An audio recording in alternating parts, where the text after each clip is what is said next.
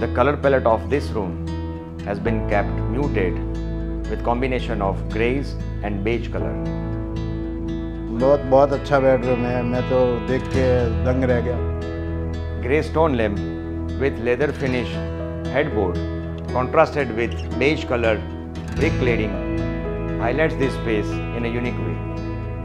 तो मुझे सबसे अच्छा पेरेंट्स रूम लगा पेरेंट्स रूम में जो एलिगेंसी सर ने दी है मतलब वहाँ पे जाके एक पीस ऑफ़ माइंड आ जाता है।